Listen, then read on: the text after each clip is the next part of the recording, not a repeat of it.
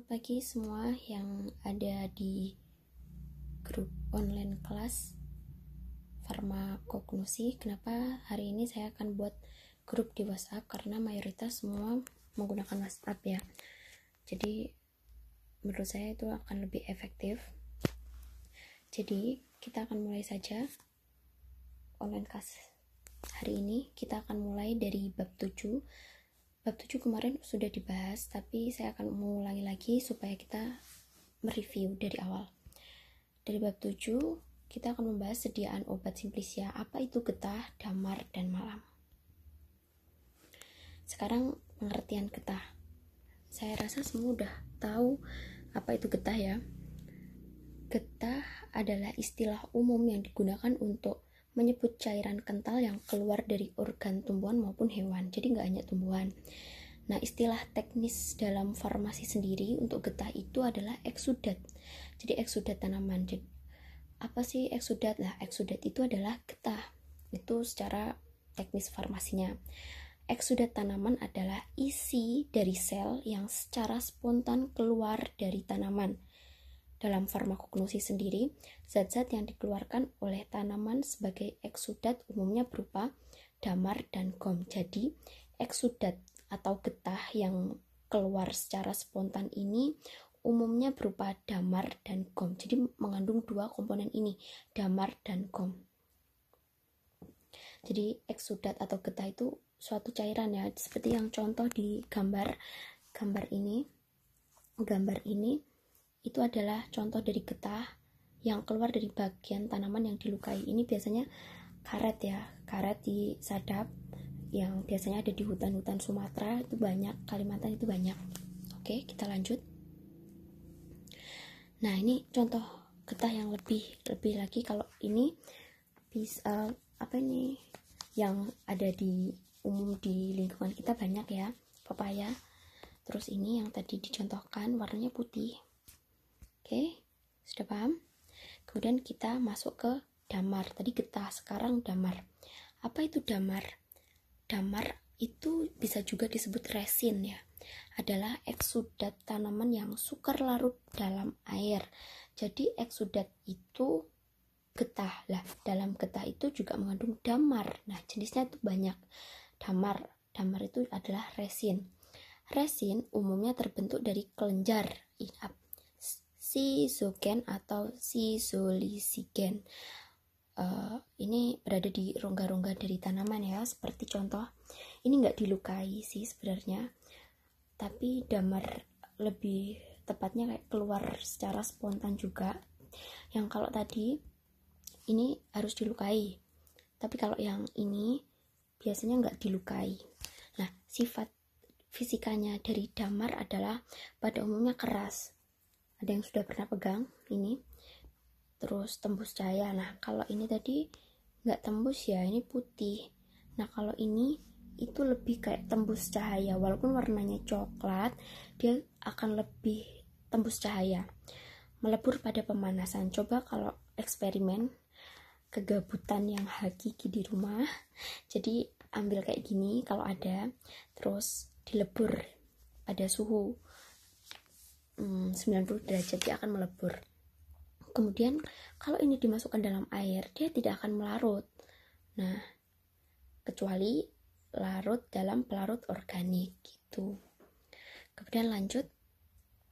Nah ini penggolongan berdasarkan zat yang tercampur dengan damar.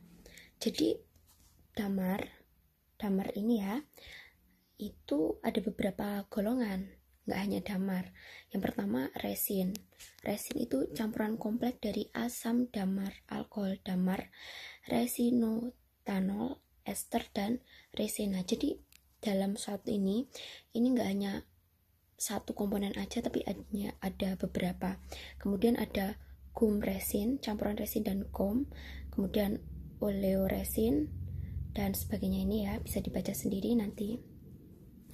Nah, salah satu resin yang khas adalah balsam peru, kemudian benzoin. Contoh gom dan resin adalah mira, sedangkan contoh oleoresin adalah terpen, terpentin. Terus pada pemanasan akan menjadi lunak ya, saya tadi udah saya jelaskan ya jadi ini penggolongannya ini setiap tumbuhan akan beda-beda kandungannya ya jadi mungkin kalau tumbuhan A itu mengandung resin tumbuhan tumbuhan B itu akan mengandung kumresin jadi beda-beda tergantung tumbuhannya juga. Kita lanjut. Ini contoh damar ya. Kalau yang kanan ini ini udah dalam bentuk pengolahan jadi dia akan seperti ini. Uh, ini udah menjadi bubuk jadi tidak terlalu tembus cahaya ya. Gitu ya. Kalau ini yang masih dalam bentuk tumbuhan kemudian kita akan masuk ke gom apa itu gom gom hidroklorid tanaman yang berupa garam-garam dan polisakarida maupun polisakarida inonik atau anion zat ini berupa massa amorf bening yang sering kali dikeluarkan tumbuhan sebagai penutup luka. Nah, ini penutup luka. Jadi apabila tumbuhannya ini jadi nggak hanya manusia ya yang bisa menutup luka, jadi tumbuhan juga bisa menutup luka. Nah, di bidang farmasi sendiri GOM digunakan untuk bahan tambahan dalam pembuatan obat seperti laksatif, pengikat tablet, gelatin agent, emulgator, suspending agent, atau bahan pengental. Nah, ini contoh gom hampir sama ya kayak ini cuma kan ini jenisnya beda penggolongan tadi gom resin dan gom sama aja sebenarnya cuma ini beda penggolongan. Hmm. kemudian contoh gom yang sangat dikenal adalah Arab dan teragakan. Gom yang lain adalah agar. Nah ini bisa dilihat contohnya. Kemudian masuk ke malam. Apa itu malam? Ada jenisnya ya getah damar dan malam. Malam malam yaitu lipid. Lipid itu lemak ya. Zat yang terbentuk dari asam lemak dengan alkohol. Jadi malam itu terdiri dari asam lemak dan alkohol. Nah lipid yang umumnya dikenal ialah gliserida yaitu lemak dan minyak. Gliserida terbentuk dari asam lemak dan gliserol. Nah, bentuknya mirip bentuk mirip damar ya. Bahan dasar kosmetik. Biasanya ini digunakan untuk kosmetik, bahan tambahan, lilin seperti itu. Ini contohnya. Ini sera alba ya namanya. Contoh malam dari hewan yang banyak dipakai di bidang farmasi adalah sera. Ini namanya sera alba. Putih ya kalau alba, tapi kalau sera flava flava itu kuning jadi kayak Vaseline kan ada Vaseline album Vaseline flavum itu kalau alba itu yang putih kalau flavum itu yang kuning. Seperti itu ya. Nah ini. Contoh malam juga ya. Contoh malam gak nyasera tapi beswak beswak ini biasanya juga digunakan untuk bahan tambahan dalam pembuatan salep biasanya. Nah sekarang kita masuk ke contoh getah damar dan malam. Ada banyak sekali. Nanti sekalian sekalian dibuka bukunya juga. Oke. Okay? kalian perhatikan buku masing-masing. Ini adalah balsam peruvianum nama lain balsam peru tanaman asal keluarga. Nanti kalian bisa baca sendiri. Yang penting kalian harus tahu tentang penggunaan obat gudik itu skabisit ya kalau di buku itu biasa uh, tertulis kabisit itu maksudnya obat gudik. Kalian tahu itu ada kalau di apotek itu biasanya ada salep skabisit itu biasanya obat gudik. Kemudian obat luka. Terus anti hemoroid itu adalah obat wasir. Kalau di buku anti hemoroid coba nanti ditulis. Jadi uh, dikasih catatan kaki di bawahnya. Hemoroid itu obat wasir. Kemudian antitusip adalah obat batuk obat batuk apa antitusif obat batuk kering. Kalau yang basah itu ekspektoran. Diingat-ingat. Nah ini adalah gambar ya. Ini udah dalam bentuk udah jadi. Nah ini adalah yang masih dalam tumbuhan. Kemudian yang ini yang udah diolah. Ini tumbuhannya kalau dari jauh kayak gini. Nah ini yang maksudnya lebih dekat ini hasilnya yang belum dikemas, kemudian ini adalah yang udah dikemas. Balsam tolutanum. Tolutanum kalau di buku nggak ada, jadi tolong nanti ditambahkan sendiri biasanya itu obat batuk nah ini ini penampakan obat uh, balsamum tolu balsam tolu ya kayak uh, gula merah kemudian masuk ke benzo benzoinum kemenyan Sumatera nanti dibaca sendiri. Dibaca sendiri penggunaannya. Yang penting bahan pengawet antitusif tinktur untuk antiseptik. Antiseptik tahu ya. Nah kemudian hmm, ini ini gambar dari benzoin cara mendapatkannya. Kemenyan ini keluar akibat patologis pada tanaman sendiri. Tiada saluran damar setelah di setelah pohon mencapai umur 6 tahun kemudian dibuat luka. Ini contohnya dibuat luka dekat asal cabang ya yang terendah. Yang terendah nggak usah tinggi-tinggi. Gitu cairan yang pertama keluar adalah yang terbersih. Maksudnya mungkin yang uh, bukan itu yang terbersih itu yang bagus lah. Menghasilkan kemenyan yang paling putih dan bau yang paling enak. Jadi yang paling bagus pembuatan luka dapat diulangi tiap tahun Cairan dikeringkan dengan cara diangin-anginkan sampai kadar air kira-kira 10%. Nah, ini ini maksudnya contoh cara mendapatkan ini ya, benzoin. Nah, ini adalah yang udah jadi. Lah, ma maaf. Lah, ini adalah cara mendapatkannya. Oke, paham sampai sini. Kemudian masuk ke Krisa Robinum. Krisa Robinum ada ya yang di buku. Nah, ini. Penggunaan kalau di buku obat psoriasis. Nah ini kayak peradangan pada kulit yang ditandai dengan ruam merah. Ruam itu warna kemerahan kulit kering dan terasa tebal ya. Bersisik. Jadi kalau bersisik itu maksudnya kalau digaruk itu akan timbul kayak putih-putih ringan gitu. Yang mudah terkelupas.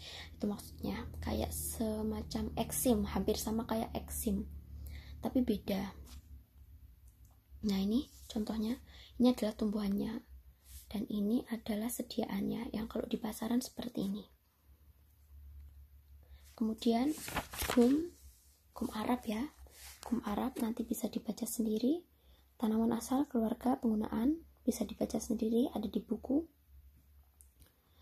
Nah ini adalah tanamannya ya. Tanamannya seperti ini. Kalau udah dihaluskan tanamannya dan ini seperti yang ada di buku seperti itu. Kemudian mira. Nanti kalau di buku paket nggak ada tolong ditambahkan. Jadi mira ini penggunaannya untuk membuat dupa ya. Sering kalau yang agamanya Hindu Buddha pasti tahulah dupa. Terus parfum. Jadi mira itu baunya gimana ya? Khas dupa. Terus nah ini adalah tumbuhannya. Biasanya kayak di padang pasir ya sulit sekali nih. Nah ini biasanya ini. Nah ini digunakan untuk bahan hampir kayak kemenyan ya. Gini. Kemudian opium. Opium tahu opium? Pastilah tahu candu ya.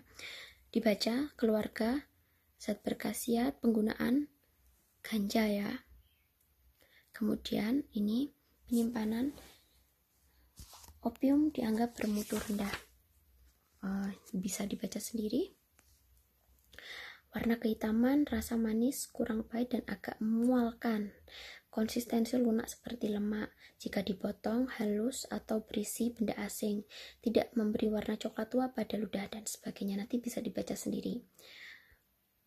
Kemudian ini opium contoh opium ya.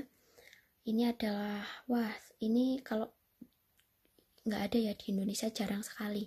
Ini di luar negeri ini dijaga oleh tentara karena ini kan ganja ya of candu.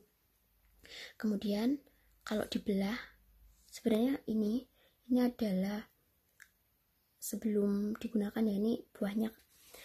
Kalau dibelah seperti ini nah cara panennya adalah seperti ini. Jadi dia itu dilukai dulu seperti ini didiamkan ya kemudian itu dipanen. Panen seperti ini Nah, ini yang bagus ini. Dijaga ini sama tentara-tentara. Kemudian masuk ke papainum. Papainum, kalau papainum pepaya ya. Cari cap pepaya bisa dilihat. Nah, ini nanti dibaca sendiri di buku ada. ada teragakan teragakan itu kalau di buku ada untuk membuat emulsi ya perkat pel itulah ini ini contohnya. Kalau di buku itu kayak kembang turi ya. Sebenarnya seperti ini yang lebih jelasnya. Nah ini ini belum berbunga. Kemudian ini bunganya. Oke ini hasilnya. Oke terima kasih materi. Cukup sekian untuk bab 7 kalau ada pertanyaan silahkan ajukan pertanyaan sesuai dengan ketentuan online kelas hari ini Bab 7 saya akhiri dulu. Terima kasih untuk perhatiannya.